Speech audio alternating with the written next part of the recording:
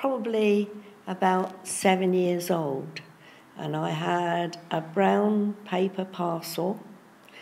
And when I unfolded the parcel, in it was a doll that was Red Riding Hood that I found out afterwards had been made by a lady who was an invalid, and that was my big Christmas present.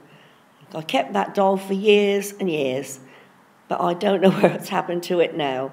But it was the most delightful thing, this Red Riding Hood. I've never forgotten it.